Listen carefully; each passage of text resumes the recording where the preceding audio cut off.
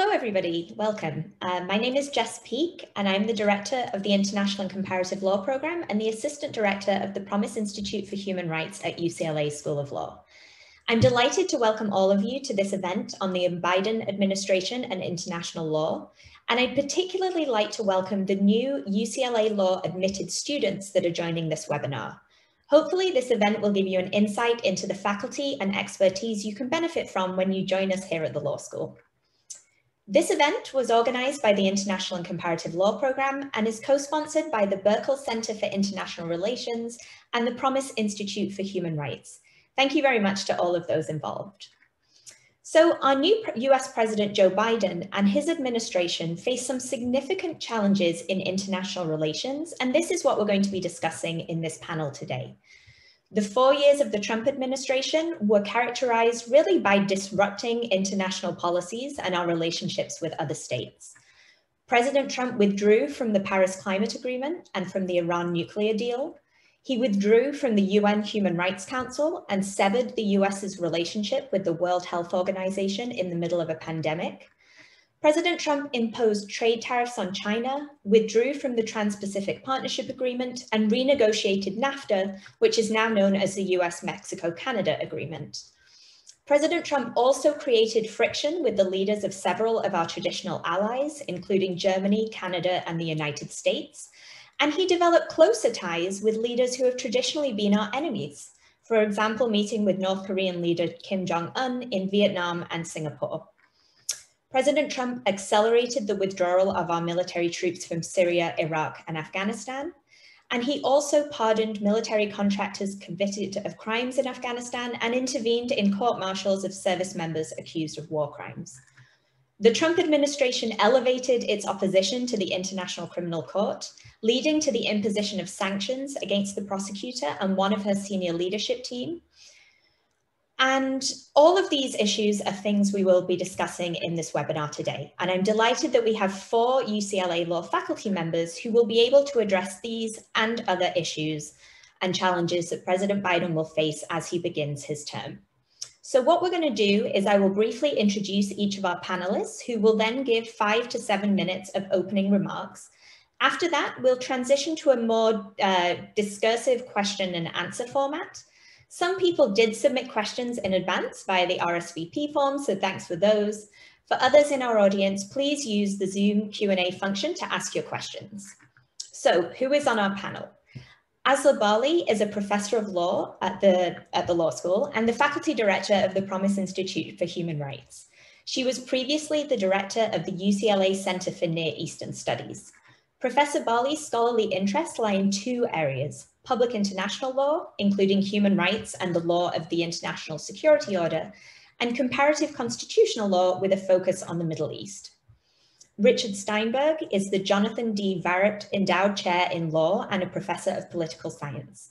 He is the founder and editor-in-chief of the award-winning ICCforum.com, and he researches, writes, and teaches in the areas of international law and international relations, with a focus on international economic law, international criminal law, and human rights. Alex Wang is a professor of law and a leading expert on environmental governance and the law and the politics of China. His research focuses on the social effects of law and the interaction of law and institutions in China and the United States. Our fourth and final panelist is Kal Raustiala, who will join us shortly. And Professor Raustiala holds the Promise Institute Chair in Comparative and International Law and is the director of the UCLA Ronald W. Burkle Center for International Relations. Professor Raustiala's research focuses on international law, international relations, and intellectual property law. So we have a broad range of expertise here in this panel. Um, we're really excited to share our thoughts with you about the Biden administration and some of the challenges it is going to face. And we really look forward to hearing and responding to your questions on this. So please do put them in the Q&A function. Uh, I will now turn things over to Professor Bali. Great, thanks so much, um, Professor Peake, and thanks, of course, to everyone for joining us and welcome, especially admitted students. Um, in thinking about international law and the Biden administration, I was tasked with addressing the human rights portfolios that the Biden administration will face. Um, And I just thought I would start by a little bit of framing. Um, as we saw from uh, President Biden's inaugural address, he devoted very little time to international questions. And this is understandable given the scale of the domestic emergencies he is confronting, the pandemic, um, the consequences of, of, the pandemic on the economy, racial injustice, climate crisis, a massive hack of the government uh, that was discovered last fall, and of course the aftermath of an insurrection at the Capitol. And still, despite this, enormous numbers of steps have already been taken in the few short weeks that the Biden administration has been put in, uh, has been in office. And these steps include repairing alliances, rejoining the international community across a, a range of areas, including many that Professor Peake just touched upon, the Paris Accord, rejoining the Paris Accord, re-engaging with the World Health Organization, uh, declaring an uh, intention to return to the UN Human Rights Council, resuming refugee admissions and reversing other immigration and travel restrictions like the so-called Muslim ban, um, uh, negotiating a five-year extension of the New START US-Russia arms control treaty, working with allies to develop a shared approach to the military coup in Myanmar, reestablishing protections for L LGBTQI communities at home and in our international policies on health and reproductive rights, and um, marking the change in his administration's approach with a major address that he gave uh, last week on February 4th at the State Department entitled America's Place in the World, which emphasized that global issues would be the priority for his administration over great power competition, even as the administration acknowledges real uh, competitive uh, challenges in the international community. So with that basic framing, what might uh, the Biden administration do beyond the steps I've already outlined to repair the US role on human rights? Um, here I would point to three different uh, kinds of strategies. The first is reversing the kinds of attacks on the international human rights law framework that we saw under the Trump administration, and again, some of which was um, already embedded in Professor Peake's remarks. For example, uh, the Trump administration convened a so-called Unalienable Rights Commission to essentially rewrite uh, the American understanding of human rights law. This should just be forthrightly repudiated. Uh, the Biden administration can also recommit to the long-term goal of closing Guantanamo, uh, reimpose restrictions that were um, relaxed or lifted on targeted killing uh, and the use of uh, drones uh, as, as, part of that policy under the Biden administration, restore a commitment to the landmine ban, uh, and support to the Saudi war in Yemen, on which I'll say a little bit more in a minute, because that's already been very clearly signaled by the Biden administration, and take some measures at home that would enhance our human rights compliance, including ending uh, the federal death penalty usage, reimposing civil rights oversight on police departments, uh, and withdrawing sanctions against the International Criminal Court, which the administration, again, has already said is under review and likely to happen in the coming days or at most weeks besides reversing outright attacks on human rights, uh, the Biden administration could also reaffirm commitment to core human rights protections at home and abroad. This would begin, to my mind, by the administration advancing anti racism on a global scale by advancing anti racism at home. And this could entail partnering with individuals like our own uh, Tendayi Achiume, professor here at the law school, who is the UN Special Rapporteur on Racism and Xenophobic Discrimination, and has engaged in path-breaking work that the United States could embrace to build anti-racist policies uh, regarding everything from the global health pandemic and the international response to it, to the use and regulation of new technologies. In addition, in the area of reforming uh, American commitments to core human rights protections, the Biden administration should commit to areas of protection that were undermined by the Trump administration, including a commitment to media freedoms at home and abroad, freedom of association and assembly, and standing with political opposition figures and human rights defenders rather than autocrats. And here again, the Biden administration has already indicated that it will be moving in this direction with the support that it has voiced for Alexei Navalny, the dissident in Russia who is currently being uh, both prosecuted and persecuted by the Putin government. Finally, the administration will have to re-engage and rebuild beyond the steps I've uh, just outlined. And this is true across the board in international law, but particularly so in human rights, which would mean appointing highly qualified people to the United Nations in New York and Geneva, and more generally, rebuilding the diplomatic corps with an increased budget to the State Department and scaling back the use of ambassadorships to reward campaign con contributors, instead committing to entrusting policy, diplomatic relations, and US international law commitments to seasoned diplomats and international law experts. The government should also, under the Biden administration, reestablish the Interagency Working Group on Human Rights, which once included the National Security Council but was disbanded under the Trump administration. And beyond reengaging with the Human Rights Council, which again the Biden administration has already signaled it will do, it should also engage with other UN agencies doing important human rights work, such as UNESCO, uh, the UN Refugee Works Authority, the Population Fund, and again, the International Criminal Court. Beyond these agencies, uh, the Biden administration should also take steps to reengage with treaty bodies and human rights regional mechanisms, nominating US independent experts to these bodies wherever possible, um, something that the Trump administration uh, failed to do or withdrew from. Finally, the US should extend its current engagement with human rights to recognizing the extraterritorial application of existing human rights obligations by the United States, supporting economic and social rights, and using treaties that we have signed but not ratified, given the challenges with ratification in the Senate, nonetheless using those treaties, such as, for example, the Convention on the Elimination of Discrimination Against Women, as a benchmark for the human rights standards that the US recognizes and that guides executive uh, branch policy and action under the Biden administration. I'll stop there. Thank you very much, Professor Bali. Uh, Professor Steinberg, can I invite you to speak next? Thank you, Jess. Um, I've been tasked uh, with uh, talking about Biden administration trade policy and law, which I will get to momentarily. I first want to make a few general points, three general points, and that is that there are several tensions operating uh, on US foreign policy under the Biden administration. Um, the first tension, I think, is that there will be a radical increase in attempts at cooperation with other countries, but the cooperation will be harder than ever.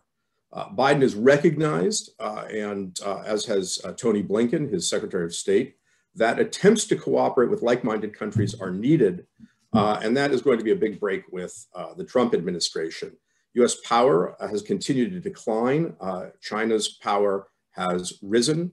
Uh, the US has the same security commitments, security guarantees that it had in place 75 years ago, but our share of global GDP during that period has fallen from about 75% to less than 25%.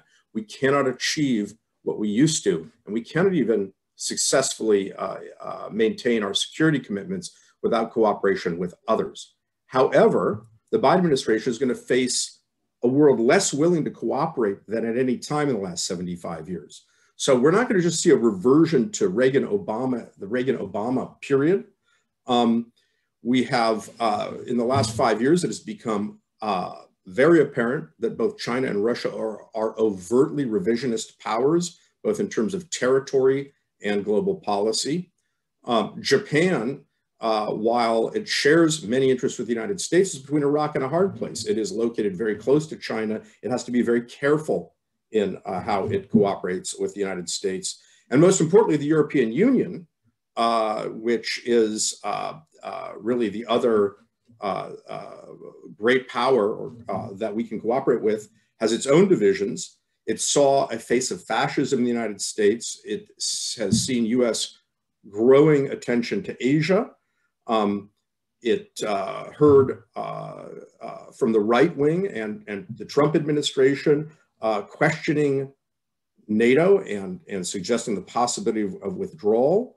Um, and the European countries are much smaller individually than, of course, uh, the great powers in the world.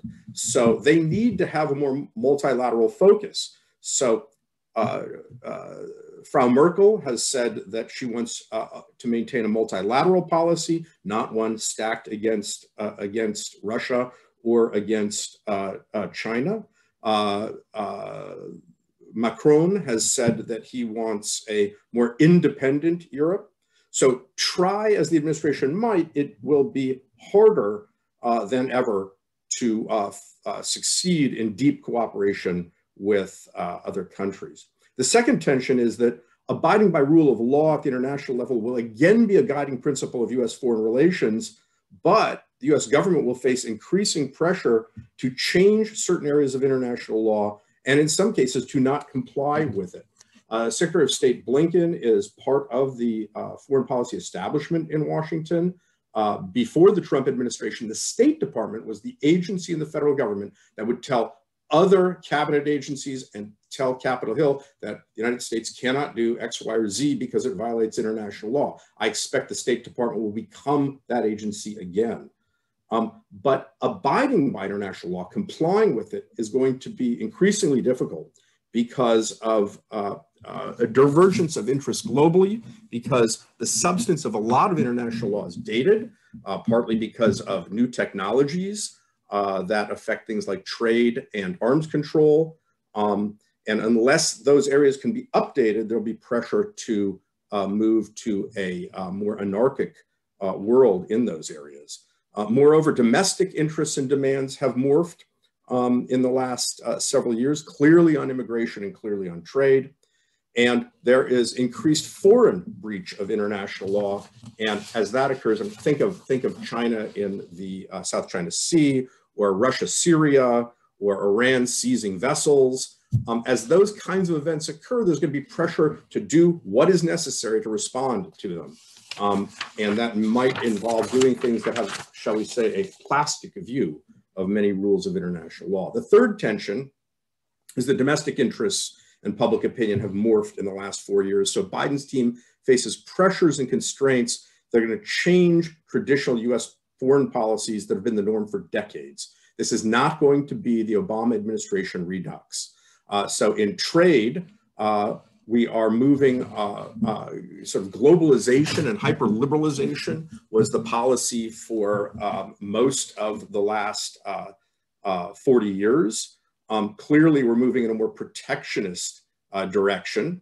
Um, on China, we have been cooperating with China until the Trump administration for several decades uh, trying to bring them into the international system on an assumption that they would be a constructive player. We're moving obviously towards more containment and partial decoupling.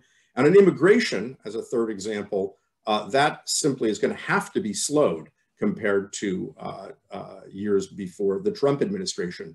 Uh, that should be clear from domestic US politics. It's also, I think, you know, somewhat clear from the data. In 1970, immigrants constituted 4.7% of the American population. By 2010, it was 12.9%. Um, I, I, do think that the um, um, racism and prejudice against migrants is actually rooted in economics, but um, uh, whatever the causes, uh, immigration, while it will be more humane and compassionate and will be expanded compared to uh, the Trump administration is going to uh, not revert to the levels we saw uh, in the 2000s uh, and uh, in the uh, Obama administration. Now, on trade policy, exactly what's going to happen is to some degree like, you know, reading tea leaves. We can look at the interests at play and we can um, also look at the personnel involved. Um, the interests in play um, uh, are uh, clearly the Biden administration has brought in people who are much more concerned about uh, labor uh, and the environment uh, than in the Trump administration. And the concern about China is uh, as pronounced, I would say, in this administration as it was in the um, Trump administration. Uh, they are, those groups stand more, more, towards this sort of embedded liberal position, a, a one that's more protective of the United States economy than the globalists with, uh, which have uh, very high expectations for cooperation with other countries. The US Chamber of Commerce, for example, uh, wants always to, uh, or usually to expand trade uh, and trade opportunities. This is a very different balance from the Reagan to Obama years. Um, it is uh, slightly different from the Trump balance of interests. If one looks at the personnel, the uh, United States Trade Representative, uh, the appointees in the trade realm, um, they are not likely to make radical changes. They are all from inside the Beltway, most from Capitol Hill or from the Obama administration. They range from centrist Democrats to uh, left-leaning Democrats on trade and the environment. The USTR Katherine Tai is a, a brilliant um, uh, lawyer uh, from Capitol Hill, but previously at USTR. She worked on China issues there. Um, she's fluent in Mandarin. She's widely respected. Uh, she's put together an extraordinarily talented group that will catalyze change, but probably won't be radically transformative. Some of the changes from the Trump administration uh, will be more effort to cooperate with the European Union and Japan, but it will that will be very difficult and very slow. Much more attention to labor issues, not only express provisions for labor standards and trade agreements, uh, but more support for the use of trade remedy laws, that is sort of tariff surcharges to uh, uh, protect American jobs. Uh, Pre President Biden has already announced a Buy American procurement plan that uh, assures that the government will buy more American goods, uh, again, to help labor and to help business in the United States, though uh, there are, it will be hard to not run afoul of US obligations under a World Trade Organization agreement on, on procurement, procurement and um, this administration is considering the idea of engaging in industrial policy and, and, technology policy. This is sort of implicit in the idea of build back better, right? It implies that the government will have some role in deciding what is built um, and uh, uh, on uh, also more, more attention to trade environment issues, such as fisheries, possibly a border carbon tax adjustment in cooperation with the European Union. Um, thanks. Sorry, we'll come back to you in the Q&A. Uh, Professor Wang, can I pass things to you? Great, thanks so much. Um, I'm glad to be here and welcome to all of you in the, the audience. So um, I've been asked to talk about two things today. One is uh, how the uh, Biden administration plans to address um, the issue of China and also to talk uh, about uh, Biden administration's attitudes towards uh, the environment, which largely I, will basically focus on uh, what we've learned so far about how the Biden administration will handle climate change. Uh, so I'm going to start with um, talking about China in general, and that obviously uh, matters to how the administration will handle climate change as well. But um, we know that relations between the U.S. and China are arguably at the, the lowest point that it's been in, in decades, perhaps since uh, the opening up in the early 70s. Um, the approach to China took a, a, more aggressive turn during the Trump administration. Um, and uh, from what we've heard so far, it looks like it, it, really, the, the whole center towards China within Washington, D.C. has shifted in a more hawkish direction. And we're, we're likely to see the Biden administration continue uh, in that vein and to be more hawkish than past Democratic uh, administrations. But the signals from the administration so far is that uh, they plan to do it um, better or more effectively, take a different approach than, uh, uh, than what the Trump administration uh, has taken. So what have we heard from the officials, uh, from the administration so far? So uh, straight from the president, the president said in an interview just a few days ago that we should be prepared for extreme competition with China, but that the U.S. is not going to do it the way Trump did, and we're going to focus on the international rules of the road. Uh, Tony Blinken, the Secretary of State, has said that China poses the most significant challenge to the uh, U.S. internationally, and uh, he's had um, some uh, exchanges with China, has already been sort of making public pronouncements uh, that are uh, sort of more aggressive, sort of saying, I made clear to the to the Chinese representative that the U.S. will defend our national interests and hold Beijing accountable for its abuses of the international system.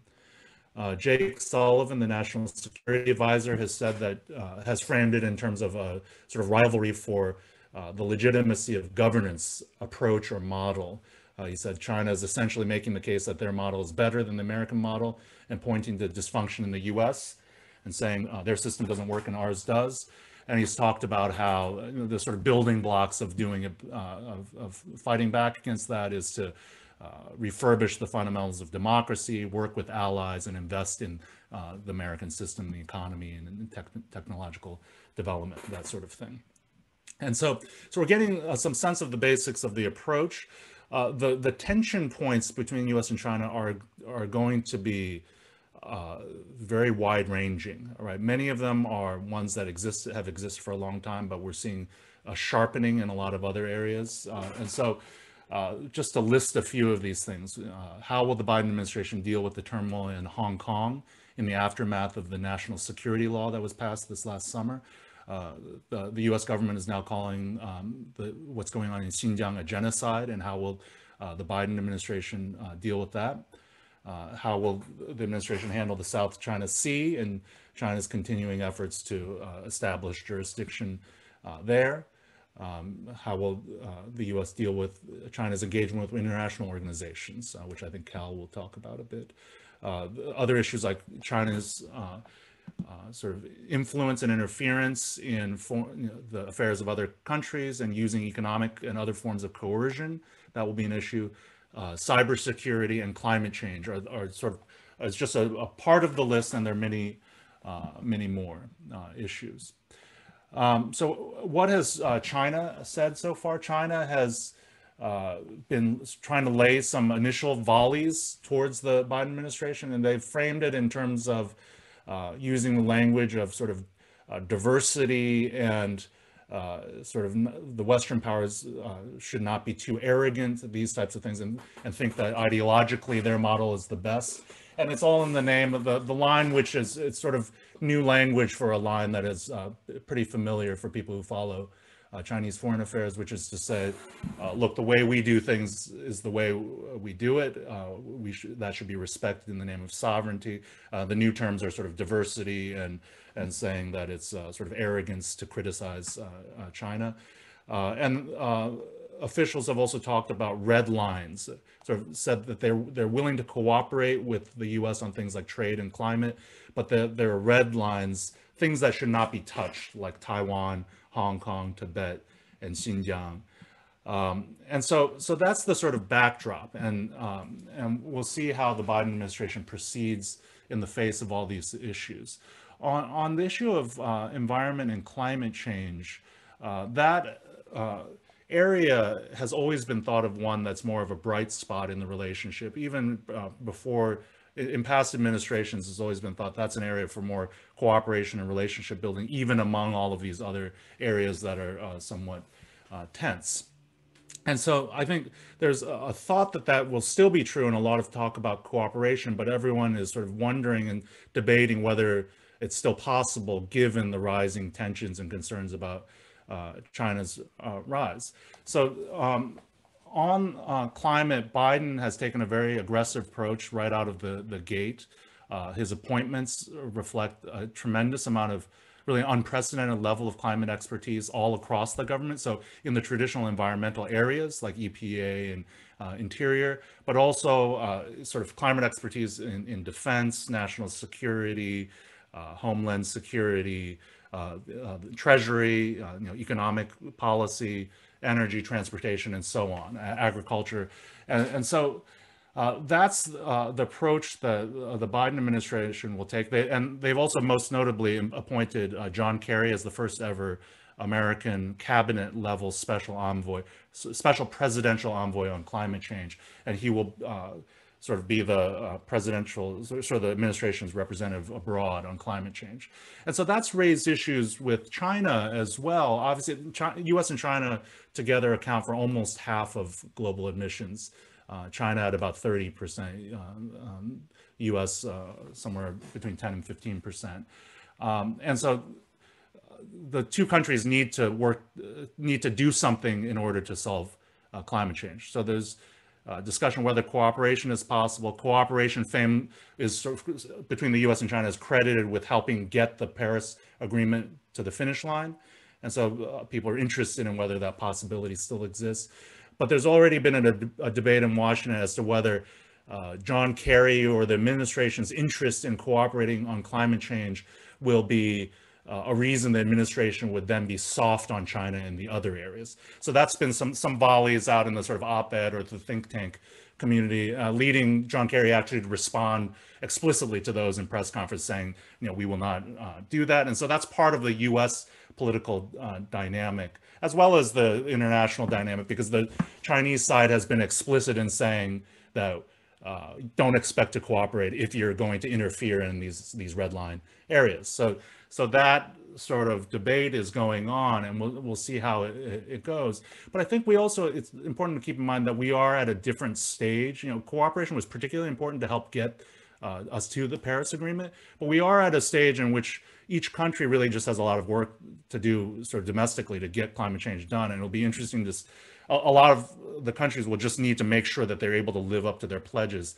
at home cooperation will still be important if it, it's possible, but it's uh, it's sort of plays a different role than it once was. And um, I, I, would argue that that competition in a couple of areas, uh, if, if you think of U.S. and China competing on the economy, on sort of their status among uh, the developed uh, the developing world and for allies in, in, the developing world, and as well as sort of this reputational competition, who whose system is the, the better one or more legitimate. I think all of these things have the the potential to drive a competition that plays in favor of uh, climate change. And I think that that may be particularly so within China, where the regulatory scheme is quite top down anyway. You might imagine these uh, international factors affecting what leaders do to sort of send signals to drive enforcement campaigns or more resources being put into uh, making sure that their initiatives don't look like greenwashing, which uh, many critics accuse them of, of, of doing right now. Uh, so I'll, I'll stop right there, Jess. Okay, thank you, Professor Wang. Uh, Professor Raustiala, welcome. Would you like to make some opening remarks? Yes, thanks, and my apologies for, for coming on late. So I was asked to talk about the United Nations and kind of international organizations generally. And knowing that I missed the other comments, I'm going to keep mine brief so I don't replicate anything and we can come back in the in the Q&A. But I think the basic, a couple of basic points to make about the Biden administration and the UN to start there. First of all, the approach to the UN is going to be very familiar to those of us who paid attention during the Obama years. I'm not going to expect to see huge differences in the campaign uh, to the degree that this topic ever came up. Biden indicated uh, a preference for a kind of return to normalcy. Uh, and that was largely for him, I think, defined by what he saw during the Obama years in, in broad brushstrokes, uh, as opposed to, to Trump, which uh, the Trump administration, which obviously took a very hostile stance, as Republicans often do, towards the United Nations, but in particular, withdrawing from various international organizations.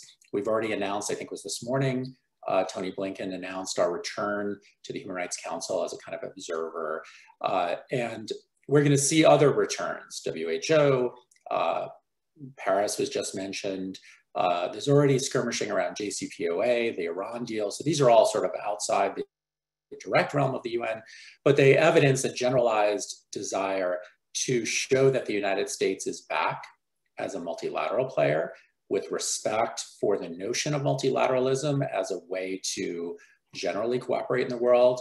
I don't want to overstate that because Democratic presidents in recent times have, as their Republican uh, partners have, certainly shown a desire and an inclination at times to, to go their own way on things and to use their power uh, unilaterally if need be. But there's certainly a difference between what the Trump administration did and what the Biden administration will do with regard to the UN. And maybe that's, that's highlighted most strongly with uh, the choice of ambassador. So if we just look at that as a kind of symbol of the approach and the general attitude, uh, Trump started off with um, Nikki Haley, um, who had no real experience in international affairs, much sort of minor level. Uh, it only went downhill from there. Biden has brought in um, Linda Thomas Greenfield as his choice. Uh, I'll say I had a brief interaction with her about a year ago. I was on a panel with her at the State Department. At that point, obviously, she was not in any way being considered for this role, or this was so, this was literally a year ago exactly. And I was very impressed with her, and she's a lifelong Foreign Service officer, someone who rose up through the ranks of the State Department with a deep understanding of the work of the State Department and a belief in the importance of day-to-day -day diplomacy. So not someone who's simply another political appointee, let alone a donor, which is really an unprecedented way to go about putting someone uh, in charge of the, of the US presence at the United Nations, but someone who really understands the State Department, in particular who understands Africa.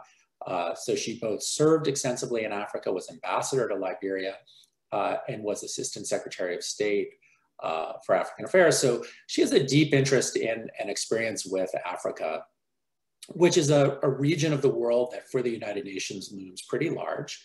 Um, we tend not to focus on it as much uh, from a US kind of US UN point of view, or you know maybe average US kind of uh, newspaper coverage doesn't emphasize it because in the Security Council it's only coming up uh, generally as a place where peacekeeping missions are going and so forth. That's a very important part of the of the Africa UN interface. but of course, it's much broader than that. And there are so many things that the UN is doing within Africa and so many African states um, interacting at the UN level that, that this will be an important part of the future. And so she's, a, she's I think, a very good choice. I was personally impressed with her when, when I spent a few hours with her. Uh, and I think she'll, she'll come in with a seriousness of purpose that we did not see in the past. So, so that's at a you know, very kind of nuts and bolts level. Uh, in terms of the things that have changed, I think um, Alex just discussed one of the most important issues of change, which is uh, the US-China relationship. And the fact that within not only the United Nations, but other international bodies, China has been uh, a growing player for at least two decades, but has taken advantage of the last few years to really emphasize uh, its importance, its position, its strength, um, to fill the vacuum in essence that the United States left over the last four years. And that's equally true within the UN. So um, like China, we have a permanent seat and a veto on the Security Council. We've always had that and we always will. That gives us a certain uh, degree of permanent power there. But traditionally, China was a relatively quiet player on the Security Council and within the UN generally, and Chinese nationals did not fill a lot of positions within the UN. More and more that is the case. There are many more Chinese nationals within the UN today, and China is more assertive and more willing to partner often with Russia in ways we do not like, uh, generally speaking. Uh, at least this administration, this Biden administration does not like. Um, but also just generally, China is more active and assertive. And so that balance um, will, um, will be a challenge for the Biden administration. How do we cooperate with China in many of the ways that Alex just spoke of, while at the same time opposing China on issues we really do care about that fall within the ambit of the UN, especially in the realm of human rights, but not only in the realm of human rights. And then in addition, um, kind of in a more macro sense, to what degree will China begin to, it's already begun, but continue to redefine the rules of the road globally in terms of how we think about global governance and international law. So we basically, for, uh, for about a century, have had a pretty European dominated international legal system and system of global governance in which it's not only dominated by European powers, uh, but grows out of a European tradition. And with the center of political and economic gravity being in Asia, that is going to change. And it's already changing. And so that's beyond the Biden administration, even if it's eight years of, of Joe Biden as president. Um, but that's the future that the US will have to engage with. What is our place in a world that's much more multipolar? And so we will continue to, uh, to face that challenge. So I think in terms of, uh, of policies and articulated positions, we can expect a lot of continuity uh, with what we saw during the Obama years. Um, Biden has not spoken a lot about the UN uh, to date. He did not in the campaign bring it up, uh, I think almost ever. Um, he focused on things like, of course, COVID and the economy and getting Donald Trump out. Um, so we have to infer more from his behavior in the past as vice president and as a senator, and also the kind of people he's put in to positions of power. Uh, but those that he has put in, Jake Sullivan, Tony Blinken, et cetera, all are sort of straightforward, non-bomb thrower, believers in the power of multilateralism and the importance of US power within a multilateral framework. So, um, so that's not very exciting, but that's the reality of, I think, what we're likely to expect. So why don't I stop there? And I think I'm the last one and we'll open it up to. Yeah, uh, thank you, Professor Raustiala. Uh, Professor Bali, I'm going to turn things over to you and ask you to pick up on something that Kal just mentioned, which is the JCPOA and the Iran nuclear deal and also to respond to a couple of the questions in the chat that relate to relations in the Middle East. Terrific. Thanks so much. Um, sure. I'll just briefly say something about the JCPOA and then turn to the broader Middle East. And I've noted questions from Anthony Norton, Professor Joe Bera, Christine Harutyunyan, and Karen Palley that were addressed to me on that. And so I'll try to, you know, quickly go through the panoply of questions that have been raised. On the JCPOA, of course, as everyone knows, this was the uh, Iran nuclear deal from which the US withdrew in 2018, withdrew and then imposed a series of additional sanctions on Iran, notwithstanding at the time Iran's compliance. Iran has responded over time with staggered and reversible moves, increasing their enrichment levels to 20%, starting activities related to uranium metal production, Uh, and Iran has been tipped into a recession that's quite severe. It's in its third straight year now, and their uh, pandemic response has also been hobbled as a consequence of sanctions. So, from the Iranian perspective, sanctions relief is an enormous priority. Um, and the Biden administration has already suggested that a return to the JCPOA is in the cards.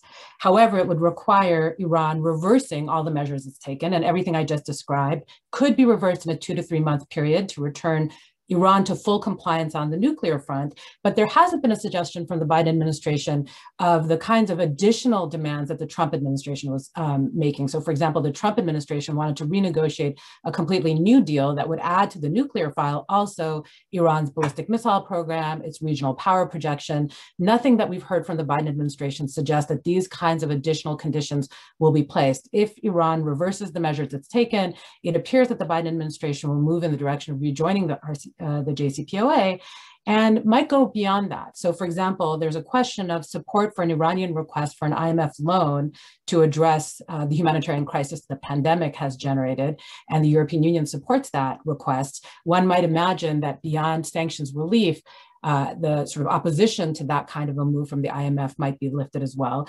And another important thing um, to look at from the Biden administration connects to what Professor Raustiala was just talking about. You can really tell the direction the administration is going in by the appointments that it's made. And I don't mean this only with respect to the Iran envoy, but certainly with respect to the Iran envoy. Rob Malley is an incredible, um, seasoned Middle East expert, was involved in the original negotiations for the JCPOA, and has now been tasked with leading the team that will be dealing with this question going forward and Iran more generally. But also William Burns, another architect of the JCPOA, is now serving as the head of the CIA. Jake Sullivan, who was just mentioned, also very involved with the JCPOA, is now the national security advisor. So while I agree entirely with Professor Steinberg that we're not going to see a general reversion to the Obama administration under Biden on a whole host of fronts. In this particular case, the Obama team does seem to be reassembled in many respects. And so I do think we should expect to see uh, a reinitiation of JCPOA talks and a broader sort of um, willingness to rethink the maximum pressure campaign that the Trump administration had adopted with respect to Iran. Now to the questions from the Q&A.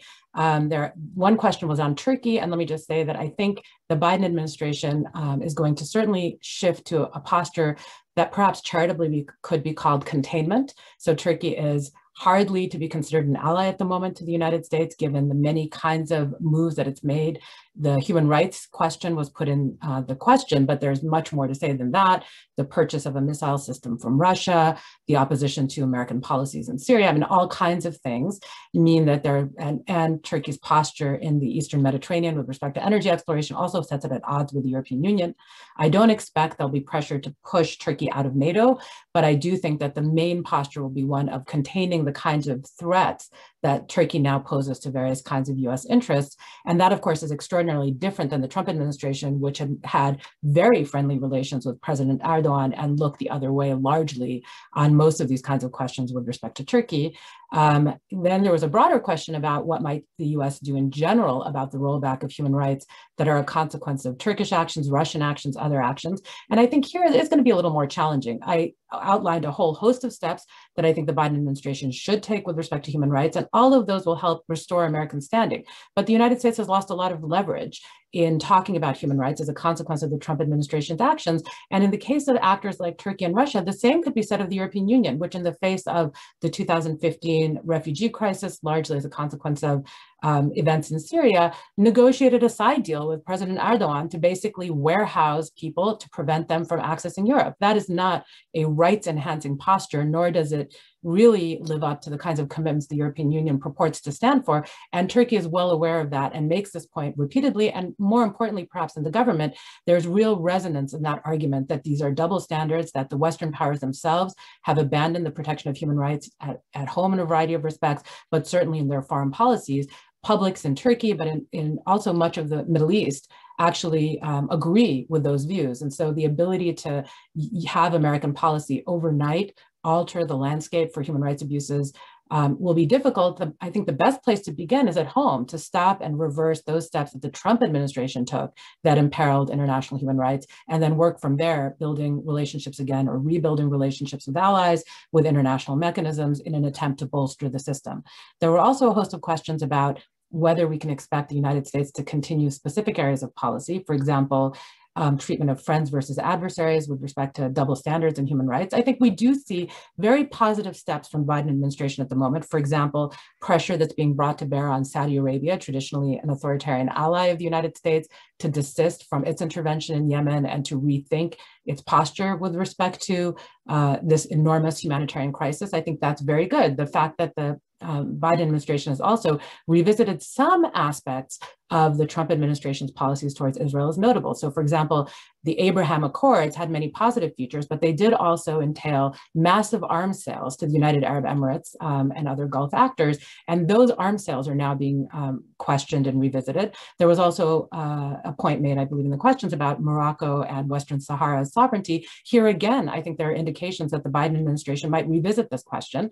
This was a clear violation of international law standards. There's a UN framework in place that does not recognize Moroccan sovereignty over Western Sahara. That is an occupation. That status is one of a frozen conflict to be resolved through international law. And the Sahrawis have a right of sovereignty and self-determination, all of which were trampled on by the Trump administration's recognition of Moroccan annexation of Western Sahara in exchange for normalization of relations with Israel. That looks like something that might get revisited by the Biden administration. Another example of not necessarily always favoring uh, authoritarian allies when it comes to human rights, which is good news. But in general, I would say in response to Professor Barra's question that we shouldn't expect a full reversal. I think the United States pattern of looking the other way and even immunizing key allies from human rights criticism while using human rights registers to go after adversaries is a very long-standing uh, tradition in American diplomacy and will likely uh, survive into this administration as well. And finally, there were a host of questions on Israel. Let me just say, again here that there are lots of indications that while the Biden administration will continue very significant levels of support for the Israeli government, as all American administrations have, that they will retreat from some of the positions taken uh, by the Trump administration. Just to give some examples, first of all, they've appointed an envoy on Israeli-Palestinian affairs, Amr Hadi, who was also involved um, as a deputy secretary under the Obama administration and now will be U.S. Deputy, Deputy Assistant Secretary of State for Israeli Palestinian Affairs. And one of his first actions was to resume um, diplomatic relations with the Palestinian Authority. So that's an important step forward. I think that much more could be done. For example, just as with Western Sahara, the Trump administration's recognition of the annexation of the Golan Heights is deeply problematic flies in the teeth of standing international law and the existing UN Security Council resolutions and ought to be revisited as well. But there's reason for us to think at this stage that while the Biden administration will persist in its support, in traditional US support for uh, the Israeli state, that the steps that were taken by the Trump administration that were departures, significant departures from a US commitment to a two-state solution, we'll see some backtracking on those, uh, which will mean that there'll be some degree of, um, let's say, restraint imposed on what either the Netanyahu government or if Prime Minister Netanyahu is challenged internally, another domestic regime in Israel can expect um, to be able to get away with at the international level. And I'll stop there.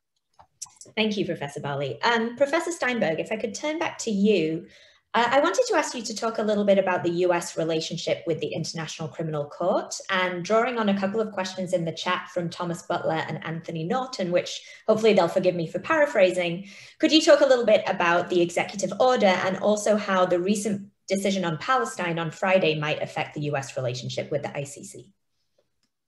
Yeah, so the United States has um, long had a um, mixed relationship with the ICC. We are not a state party to the ICC, um, but we have uh, engaged in constructive engagement. That is where uh, our interests dovetail with uh, investigations and prosecutions undertaken by the ICC. We have cooperated uh, with some intensity, providing signal intelligence, satellite uh, imagery, uh, in some cases, boots on the ground trying to find uh, Joseph Kony and the like. That, that policy of constructive engagement was abandoned by the Trump administration, which was uh, highly critical, particularly when John Bolton was a member of the administration, highly critical of the ICC, and um, uh, uh, culminated in an executive order uh, issued by President Trump imposing sanctions on the prosecutor property sanctions and um, uh, visa sanctions on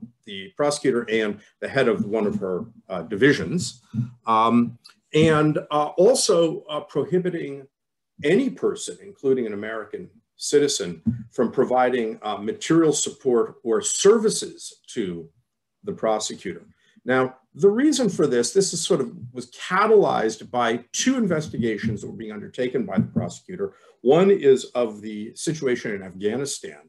Basically, uh, an element of that is uh, looking at the possibility of uh, prosecuting Americans who authorized uh, torture uh, in Afghanistan uh, in the early years of our um, coalition in, invasion of, of, of Afghanistan.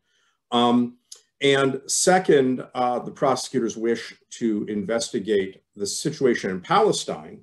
Um, both of those entailed um, real um, extensive claims of sovereign of, of um, jurisdiction by the court, which in the view of the United States and in the view of many um, scholars and jurists uh, is really an overreach. Uh, that the, the argument being that they don't have the jurisdiction the, court doesn't have the jurisdiction to take on these matters. Uh, in the first case, the United States is um, not a state party to the Rome Statute, um, and uh, uh, no state asserted universal jurisdiction or said that that uh, there were effects of U.S. behavior uh, that uh, would warrant ICC jurisdiction.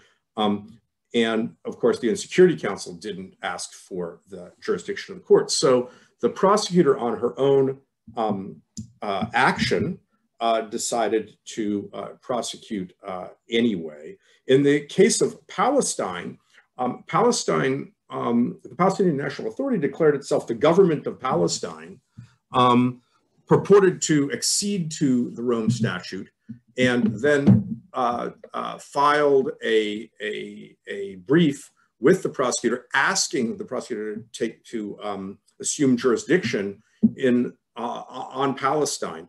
It's thought that there would be at least two dimensions to the investigation in, in, in Palestine, one being uh, of the Israeli settlements uh, and whether they violate, whether they constitute a war crime uh, under the definition set forth in the Rome Statute, and uh, the other um, uh, uh, violent attacks by Hamas and uh, other, other uh, Palestinian uh, entities against unarmed Israeli civilians. There, um, that, that entails, asserting jurisdiction in that entails the prosecutor and the court deciding that, at least for purposes of the Rome Statute, Palestine is a state. Well, since the United States hasn't recognized Palestine as a state, uh, nor has uh, many other countries, including other great powers, like Russia and China. Um, and because the Oslo uh, Accords, uh, which were signed by the Palestinian National Authority, defer the question of Palestinian statehood, um, it's quite a reach for a court or a prosecutor to take the decision that uh, a territory is a state uh, under international law. So in response to this, um, the uh, uh, Trump administration issued, issued, this executive order. Now, there are very good reasons to be very critical of the executive order. First, um, it's illegal. It violates the First Amendment. The, uh, uh I personally and the ICC Forum, which um, uh, operates through the law school and through the Promise Institute, and in which many law students are engaged, uh, has for 10 years collaborated with the Office of the Prosecutor at the ICC on um, addressing issues of interest to the prosecutor. On advice of counsel, we are no longer able to do that. That has a chilling effect on free speech and free press. And in fact, the Second Circuit recently decided, um, uh, reached that same conclusion. The second reason, of course, is I think most people think it's bad policy to um, uh, impose sanctions on, on the prosecutor. You know, normatively, the United States should, like many of the ambitions, most of the ambitions of the Rome Statute. We oppose genocide, we oppose crimes against humanity, oppose war crimes. Uh, and in addition, many of the investigations by the ICC advance US foreign policy interests. Um, on the other hand, these sovereignty arguments uh, and, and jurisdiction arguments are, are, are very powerful. And um, uh, the UN, the U.S. national security establishment is deeply concerned by, by these actions, uh, uh, the, Palestine investigation, the Afghanistan in, uh, investigation. Um, you know, we can't forget that Israel is the cornerstone of our U.S. alliance in the Middle East. uh, against uh, a sort of um, Russia, Iran, Syria, Hezbollah kind of coalition. Um, so what will the Biden administration do? Um, well, uh, it's, it, is, it is a little difficult to predict. Uh, clearly, the um, working group on the campaign on human rights unanimously recommends, uh, recommended rescission of the executive order, and if not rescission of the executive order, rescission of the designation of the prosecutor and the head of the division, uh, the JCCD division at the ICC. Uh, but um, of course, uh, that um, uh, civil society and, and uh, those within the government who, who champion human rights, international criminal law, are, are facing uh, concern from the national security establishment. I do think that um, uh, you know the United States has, has, has lodged a complaint against the decision by the pretrial chamber last week um, authorizing the investigation in, in Palestine. Um, but I do think that um, that the inclination of the administration, both in its desire to work with um, our allies and to work with uh, like-minded countries uh, and uh, sharing many of the goals of the ICC will again begin constructively engaging with the Office of the Prosecutor uh, where, where those investigations dovetail with our interests. Um, it's not impossible that we provide uh, uh, cooperation um, uh, on even the Palestine case insofar as it goes to providing information, intelligence, satellite imagery, and the like uh, concerning um, uh, uh, Palestinian, largely Hamas, attacks on unarmed civilians. Um, uh, the policy, executive order is, is under review. Um, uh, uh, obviously, right now, a week after the, the decision by the pretrial chamber, I don't expect an immediate uh, rescission of the executive order. Uh, but um, uh, over time, I think that's probably where the administration is headed. Thank you very much, Professor Steinberg. Um, Professor Wang, we have a, a few questions directed to you in the chat that, again, I, I hope the questioners will um, allow me to paraphrase and combine a little bit. We have questions from William sure. Chandler, Perry Bloom, and Carol Hamilton. Uh, one sort of theme of these questions is how can the US effectively confront China when uh, China uses this, this argument that things are within the internal affairs of China, particularly maybe in the context of Tibet? And then secondly, how do you expect China to respond to the Biden administration's attempts to build international coalitions aimed at countering the rise of China? Yeah, so th those are great questions. I, th I, think on the the first one, uh, you know, there there are a couple of issues that were raised in the questions, you know, and they all have their own circumstances. So Xinjiang, Hong Kong, Taiwan, and Tibet, um, and uh, the question is right to say that China's defense of that is often to say, look, these are internal affairs, these are red lines, these are uh, sovereign matters. Um, but I, I think it, it's going to be harder and harder for China to really claim that line as it goes out into the world and is increasingly having its own influence and, and demanding uh, sort of uh, concessions and, and, changes in behavior from others, I think. And I think we've already started to see more assertive pushback on all of those issues from um, US government under the Trump administration. And it seems as though Biden, uh, the Biden administration is planning to continue in, the, in that vein. So um, on Xinjiang, uh, they include things like uh, naming what's going on uh, a genocide. Um, they're uh, the part of the push to engage with the UN more. Uh, there needs to be more engagement on uh, in the human rights uh, apparatus to sort of work with other countries to um, uh, criticize and to, to find ways to uh, influence China's behavior there. There's efforts to apply pressure through, for example, affecting supply chains. A lot of Western companies are doing business uh, in Xinjiang, and so putting pressure there. And uh, you possibly you'll see continuation along the lines of some of the legislation that's already been passed, like the uh, Uyghur Human Rights Policy Act, where you get these sort of Magnitsky Act-like punishments where officials engaged in the stated disfavored behaviors uh, will be uh, sanctioned in some in some way. And so you've seen that in uh, Xinjiang context, Hong Kong, and and Tibet, these Magnitsky style um, um, moves. And so uh, the situation will be um, you've seen similar uh, attempts at, at, legislation or, or similar moves to, to pass legislation in the Hong Kong uh, situation uh, and the Tibet situation, where the, the, Tibet situation, it's dealing with the right of uh, Tibetan leaders to choose their own um, uh, their own successors, among other things, uh, right? And um, I think particularly interesting will be to see how the Biden administration deals with Taiwan. I think the uh, old school diplomats have always taken a particular uh, approach focused on am ambiguity. And um, Trump administration obviously broke a lot of the norms uh, on that. And uh, one question is whether we'll see the Biden administration continuing in that vein in terms of uh, encouraging more engagement between US and, and Taiwanese leaders increasing arms sales increasing economic inter, uh, integration and how will the US engage on Taiwan's place in the inter international world.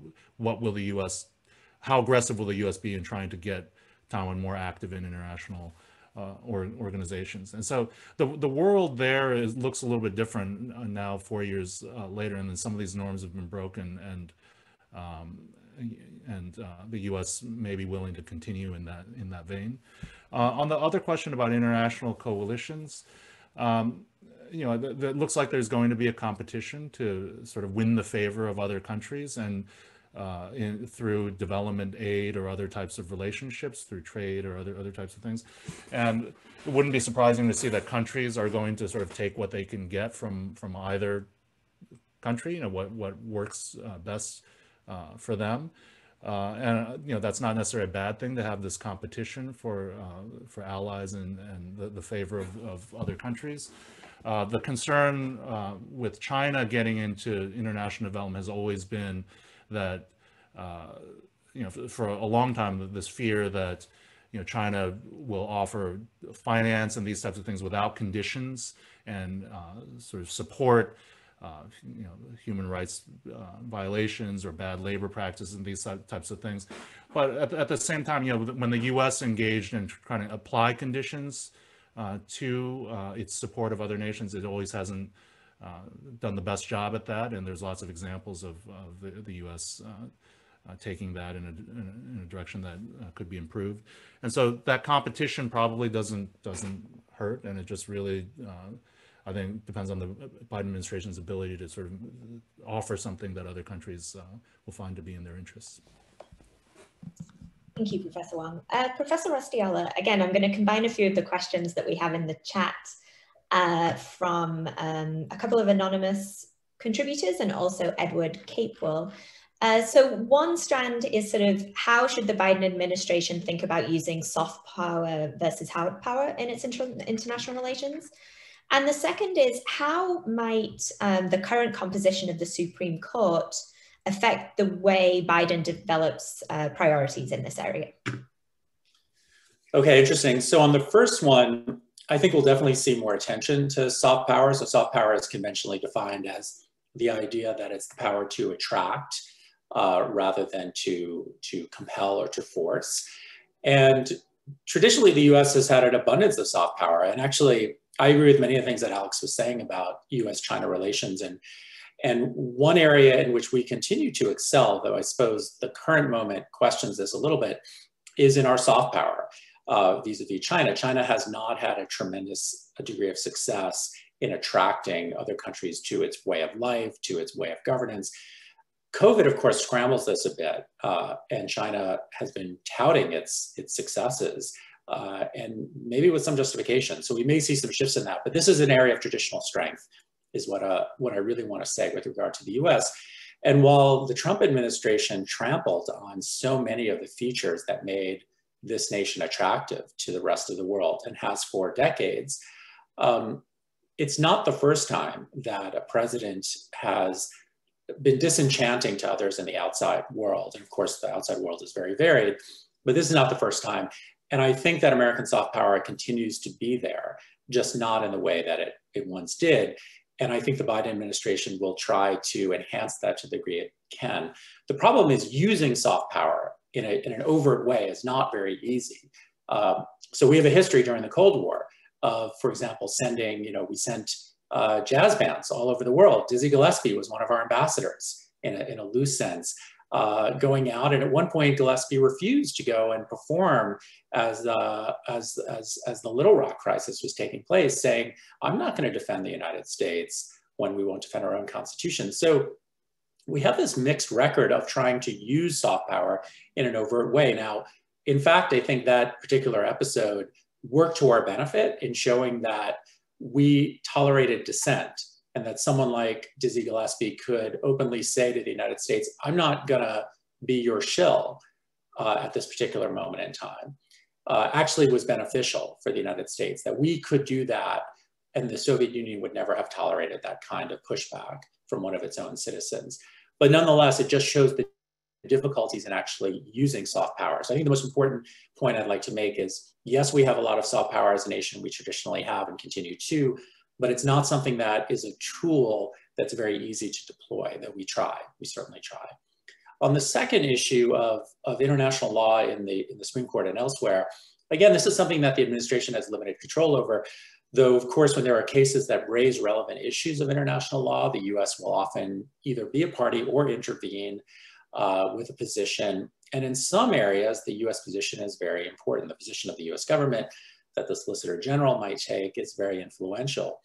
Um, it's true that Republican uh, appointed justices have traditionally been more skeptical about aspects of international law, but even Justice Scalia himself embraced certain areas of international law and was not, in fact, that critical overall. He found certain things to be problematic, in particular areas of customary international law, certain ones, certainly human rights and the way that was developed in the, in the 80s and 90s troubled him in certain ways as a facet of international law alien tort statute is a good example where, you know, the Supreme Court has basically accepted that there is an alien tort statute and it has real meaning, but it's going to be combined, confined to certain areas uh, and that it reflects international law. So I think what we've seen over time is a, a, a right-leaning court minimize certain areas of international law, but accept others. And we've had a bit more, um, a bit more continuity than might be apparent. So I don't expect a radical change in that. But of course, we have some new justices. Uh, we don't really know where they stand. They haven't really had an opportunity to speak. Uh, and the questioner is absolutely right that there is, there is a, a sort of traditional hostility that many Republican judges show to the very idea that international law should be binding on the United States in any way. And um, I don't think that's going to go away, but it, it's not something we ought to overstate. So I'll stop there. Thanks, Kal. Um, Professor Steinberg, I'm going to turn back to you because we have a number of trade-related questions in the chat. Uh, so again, I'm going to combine a few of them. Um, what are the prospects for resurrecting the transatlantic trade and investment partnership with the EU? Uh, do you think there's any prospect for a UK-US foreign trade agreement and what might that look like? And what might the fate be of the WTO appellate body, given how the US has sort of behaved in the appointment of judges there? That's a lot, a lot of questions that have complicated answers. Uh, and you have three minutes quickly, Right, yeah, thank you, thank you. Um, so, okay, uh, Brexit. Um, the question in the Q&A function refers to the UK as a, uh, coming across as a desperate supplicant to the United States. Um, actually, you know, while um, uh, there is uh, certainly disagreement about the wisdom of Brexit from a UK perspective. Um, one advantage of Brexit is that by being freed from the customs union, uh, the UK can conclude free trade agreements uh, with uh, other countries. Um, and the most obvious country to conclude it with is the United States. Uh, and um, uh, that's because we're the world's largest market still of any single country in the world. So if Britain were to get sudden uh, duty-free access to the entire US market, that would help the, the, the British economy. From, from the US perspective, um, well, one would expect a very, very modest uh, uh, positive net benefit to the United States. Um, and the agreement is largely concluded. Um, the texts were negotiated at the end of the Trump administration, and they're largely done. I would expect that um, if the United States were to go ahead, or actually when the United States goes ahead with this agreement, because I do think we will conclude an agree, uh, a, a, free trade agreement with, with the UK, uh, we will strengthen provisions on labor and the, and the environment, and particularly on subsidies and state enterprises. Uh, this is a theme that will be played out both in the TTIP context or efforts at something like that, and in the context of the WTO appellate body. Um, there is a concerted effort by um, uh, the by USTR and by the Biden administration to address China issues. Two huge issues are the rule of state enterprises and the extent of Chinese subsidization. And we want to bring um, our like like-minded countries on board on those policy positions and build them into uh, our trade agreements. So I would expect that the U.S. Um, UK FTA would have uh, new disciplines on subsidies and state enterprises. And uh, any agreement done with the European Union more broadly, uh, such as a TTIP would uh, as, as well. We have big conflicts with the European Union right now that also have to be solved. Boeing, the Boeing Airbus uh, issue, digital services tax, which is a tax that would constitute double taxation on US large technology companies. We have the old issues of agriculture with the European Union. So concluding a, an agreement like this with the European Union is very difficult. We've tried to conclude a, uh, a free trade agreement of one sort or another with the European Union for over 30 years, and it's always proven difficult. I would expect that we would make progress on a few issues uh, and conclude a trade uh, and investment agreement that's not complete liberalization of uh, all sectors of trade or, uh, uh, or investment. WTO appellate body there's no way I can cover it in, in, in the remaining time. I will just say that um, I don't think the revival of the WTO appellate body will be easy or that it'll happen quickly. Thank you very much, Professor Steinberg, and thank you very much to all of our panelists. We're right at time. I'm so sorry we didn't get to all of the questions in the chat, but thank you so much for coming and for uh, engaging with us with your questions. We really enjoyed this event and we hope that you did too. Thank you so much.